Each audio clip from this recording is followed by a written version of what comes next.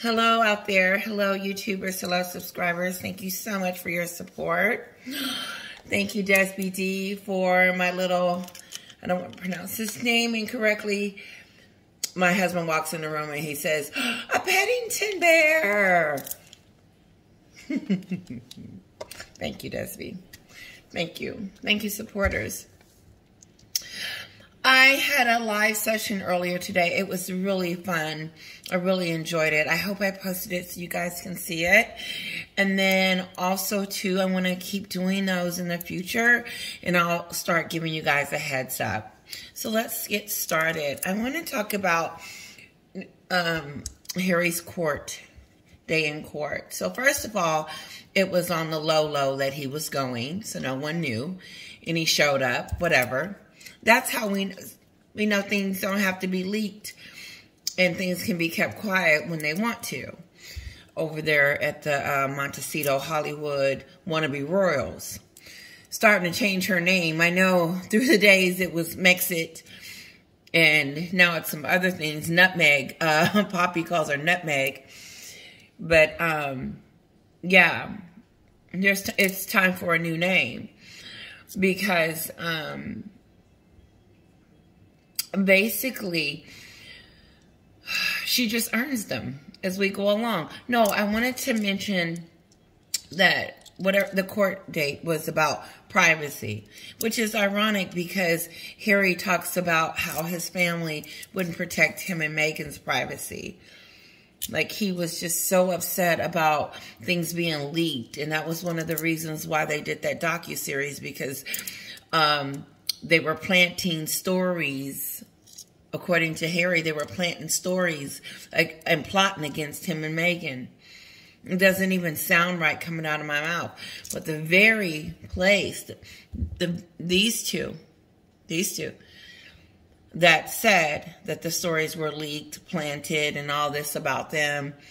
And even where he's at now with the court stuff, trying to say that his phone was tapped into or they were spying on him and Meghan when they were getting into cars or whatever. The point is, is that Harry was spying on people. Meghan was spying on people, trying to collect information so she could bring it back and create a docu-series and and go in on the royal family. That's not going to go away. It's not. It's not going to go away. It's not like it's going to disappear because it happened a couple of two years ago or it's just not fresh in people's minds, but it's still there. And so it's just ironic that that would be something that he he's doing. It's just weird how these two talk against the things that they do themselves. You talk about the media, but yet you use it for everything. You know, you talk about the royal family like you don't want to be a part of it anymore and don't want to be, you know, part of the institution. But yet and still you want to wear a, a, a tiara on the balcony and be seen and be heard and have Archie's name yelled out in history. But not just Archie, Prince Archie. You can't tell me she didn't rush and get those titles really quick before the coronation, just in case they do read his name off. They'll read it Prince and Archie Princess. Meghan's strategic. She does everything for a reason. But not to digress, because I may go back to that very subject, because I just, I, am having a hard time understanding why Meghan, not Harry, Meghan wants to be on the balcony. Like some of my subscribers said, they're going to be very disappointed in in Charles if he allows them to to get on the on the balcony because it's it is giving in to these two. It's allowing them to have privileges that they shouldn't have.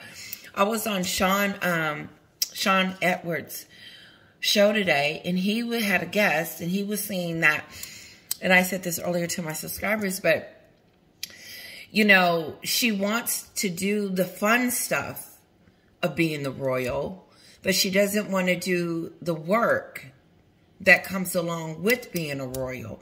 She didn't want to go to Africa, shaking people's hands and living in different places and, and traveling. She, she didn't like that. She didn't want to do that. And she wasn't getting paid for it, remember? And so they decided to leave because she didn't want to do that. That's why she really left and she wanted to be in Hollywood. But the problem with that is, is that everybody has a problem with her trying to be on the balcony, trying to wear a tiara, trying to be a part of something other than just the family. I believe Charles and Camilla and William are listening to these two. And here, Harry says he doesn't want an institution. He wants a family. And so when they give him what he wants, the family, here's your invitation and you're coming as a guest, not a participant, then then they start writing stuff in the news and demanding things. Oh, I, I want to be on the balcony. I want a tiara. I want his name mentioned. I want to be in the parade. I want to sit with the dignitaries. I want to walk in the church on the left side and I want to sit right who does she think she is? That she can just start demanding and feel like she's entitled to these things after she sat on the Oprah Winfrey show and told us that this family was racist and that she was in some type of duress, mental duress. Like it was mentally bothering her during the time that she was over there in the UK where Harry felt like he had to fly her over here really fast to save her or protect her. Like it was a big deal in the docu-series and on Oprah that they were running for their lives. And now they've been invited to attend something all back over there. And now they want to be a part of it. Shouldn't she still have scars and and still be feeling like, oh my God, I'm and shaking and nervous about going over there? She's going to be shaken and nervous when she goes over there because she knows the British people have smelled her coffee and knows that it has no sugar in it. There's nothing sweet about Meghan. It's sour. She's a sour. She's a sour. It's sour. Everything she touches is sour. Does that make sense to any of us? That Meghan will actually feel entitled and to feel like she should be on the balcony as if they're having this family moment. As, as if everything is okay. We've settled the racism claims and we settled all the back and forth. You're not going to say any more secrets. Yes, you are. You're coming out with a new memoir. And I say a new one added to the, uh, an extended, an extended uh, memoir 2.2 Let's add this in the book, Harry, because like me and my subscribers said, me and you guys talked earlier, and you said we both agreed that Meghan put a section in that book. And Debbie, uh, Desby said Harry wouldn't come up with those kind of, Harry would not come up with the bridesmaid dresses and the lip gloss and the other petty nonsense, petty petty he say, she say, this did very petty. Everything that they stated in their docu-series and on Oprah was petty until they started talking about racism and suicidal. That's when the stuff got real. But most of it is petty. Me and my, I don't, me and Samantha doesn't talk anymore. I can't invite Ashley to the, to the, to the, um, wedding because of this stuff. The press is after me. The tabloids call me from Compton. Petty. Um, I, I, petty. Petty. Conjuring up stuff that doesn't even need to be conjured up. Like Chris Rock said, You hit the light skin lottery and now you're complaining about it. It's disgusting. I want, I want, I want. Poppy said the other day, she says she's just the, she's just want, she's got her hand out. I want this Harry, I want that Harry, I want this. Speaking of Harry and the, in London today. Where was she? Don't you think she should have been by his side?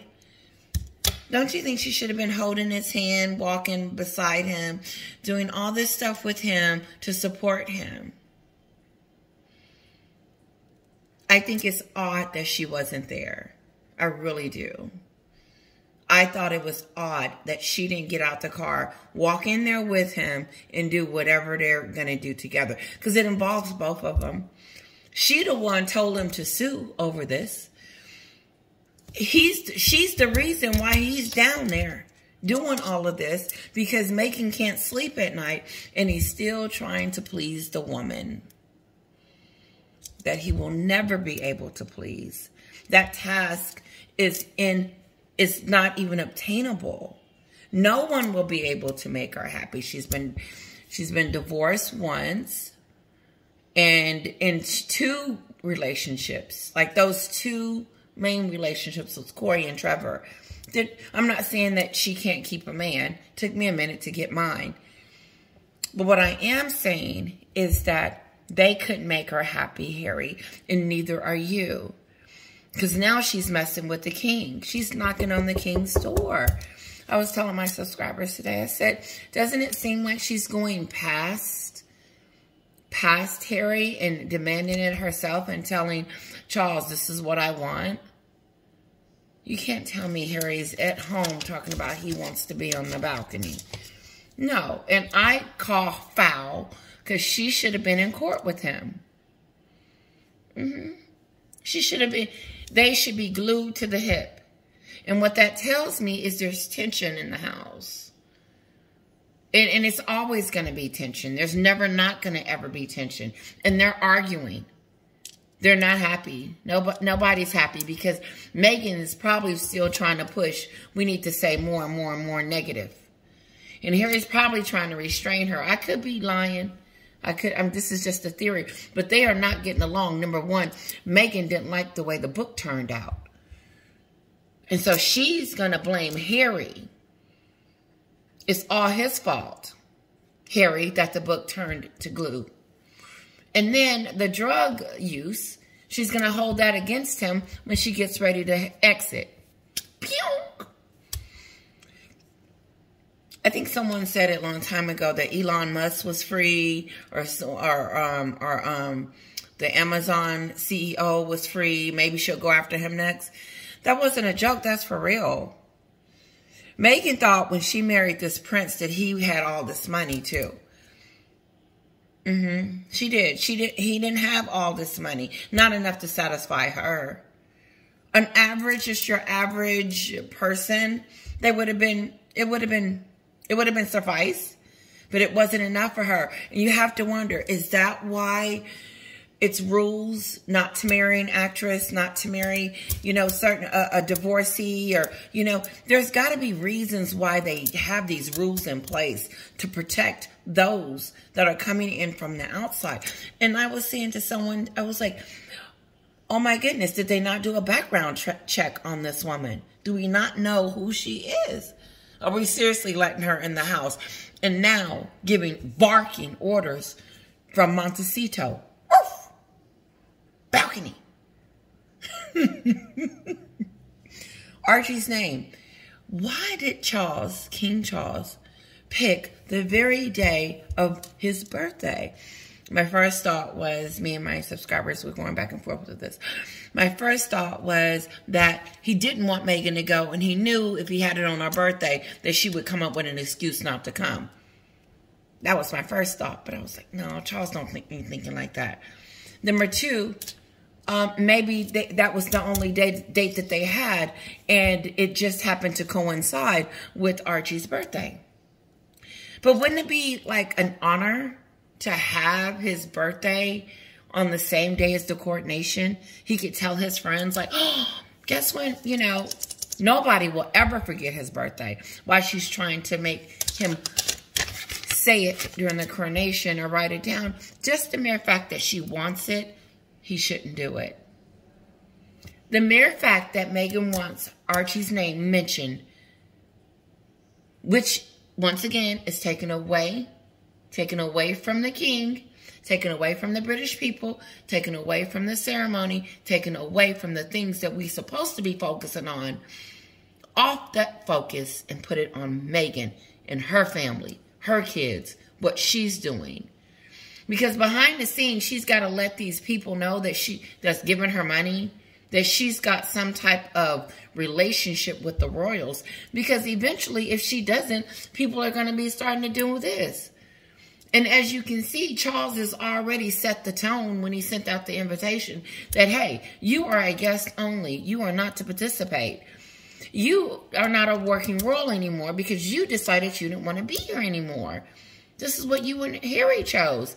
And just like Sean out, out, Atwood's um, guest said, and like I was telling my subscribers, you can't work for a company and then they invite you and you, you, you don't no longer work there. Okay. You left. And then they invite you to like a dinner and then you start telling them, well, you need to invite my kids and then you need to uh, put me on the program and I want to wear a tiara and I want to be on the balcony when they do all this stuff. That's just like writing them back and telling them that. And you don't even work there anymore. That's what it sounds like Meghan is doing. That's how I know she's this spoiled, entitled brat that think that she is supposed to get any and everything that she wants from Harry and his father and the institution. Because what idiot, why would she want to look like an idiot up there doing this with a tiara on? If she's up there, it's just going to show dominance that, hey, see, I'm on the balcony. This is what I want. I accomplished that. She is. But she also has to be seen to keep making money back here in Montecito. And so she needs a photo op or some type of picture showing that there's some type of unity going on. Like um, Schofield, that's her name, she's so pretty, said today. She said, pick up the phone, Meghan, and call your father. Are you trying to show photo ops? Because remember, she said it's all a fake behind the scenes. You got to wipe your tears and come out and, you know, suck it all up and pretend like everything is perfect. So is that what Meghan is trying to do when she's trying to be on the balcony, wave and get a picture with Charles that, that, um, everything is okay when it's not? I don't remember her coming out with a statement saying, uh-oh, I may have told a story. the, the family isn't racist. Or is it? Unconscious bias. No, you guys have got to watch that one scene when Tom is interviewing uh, Harry, and Harry's on there like this. He's he's like, um, no, Meghan never said they were prejudiced, racist. Tom was like, he was so confused, like we all are. But that's the thing. It's not going to just be swept up under the rug. The allegations, the lies that she said in that bombshell sit down Oprah debacle interview is not going to go away. It's always going to be there. It's not going to disappear. Mm -mm. She will always be that person that said that the royal family was racist, her and Harry. And that somehow, at some given time, is people are going to demand that that be retracted because it's still out there hanging. Just a thought. Um, a little bit about her dad. Um, my thought was that she was going to do a publicity stunt. Yeah, yeah, yeah.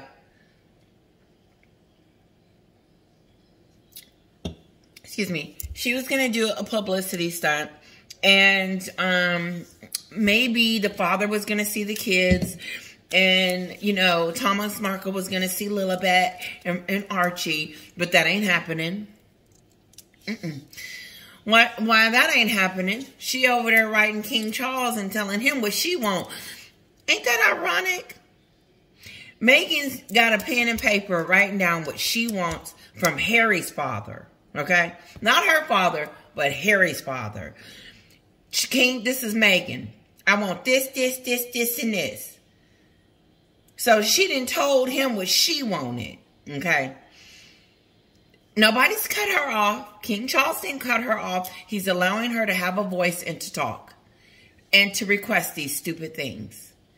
After she called him racist. After the Oprah, the Netflix, the Spare, the therapy session in this this this this list.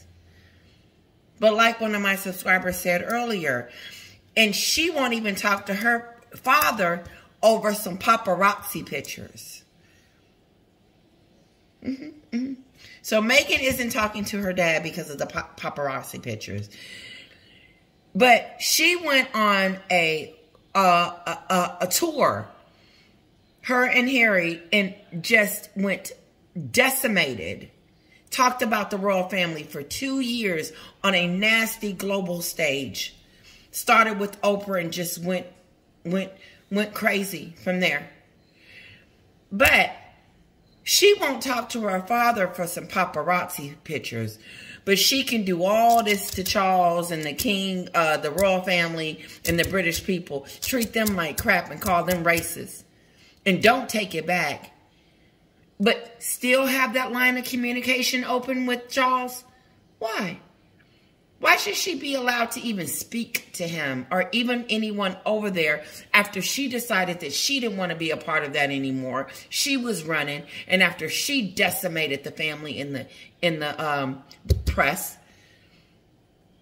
and then you go over to the flip side, you see her dad being mistreated on a on a global stage because of Meghan and want us to believe that he's scum of the earth because of the paparazzi pictures. He's dead to her. She says she lost her father in this process. She, he's dead to her. Now, I thought since he was at the LA airport that just maybe that she would actually allow him to see his grandkids for the first time. Because check this out. While she's trying to get King Charles to sound off Archie's name. Uh-huh. Her father-in-law. She's keeping in contact with them. She ain't cutting them off because she need them. She's going to use them. She's using up Charles. She's using up the royal family. She's using that Sussex names. She needs that connection. She's done with her father because he has nothing to offer. And I don't care if he ever sees the kids. That's his problem. It doesn't matter if it hurts him. It Doesn't matter if it's a if it's a situation with him. It doesn't matter. It's what Meghan wants, Meghan gets. Because Meghan is focused on the bigger picture right here. I'm going to the coordination. I want to do this, this, and this. I'm not even thinking about my father. Because maybe she's going, maybe he's, maybe she'll call and say, hey, come by. She's too busy plotting and planning on what she's going to do when she get over there to the coronation. She's too busy to mend anything with her father. But she's coming out with a TIG and she's coming out with a memoir to tell us more and more and more about herself. But the more she tells us about herself, the more and more people dislike who she is, the person that she's trying to tell us. And then when she gets it in the book, she repeats herself then she goes after the very thing that she needs to stay connected to. And is everybody else. Like her father is scum. All that whole side is just scummity scum. And she's being entertained by the things that she wants. She's being entertained by by her entitlement because she married a prince. Harry got out the car, that car walking really fast. He looked like he was on something to me. He really did. Because when he, and I normally don't even speculate, but when he ran into that man like that, and even when he came up, he was a little stumbly. I said, is he all right?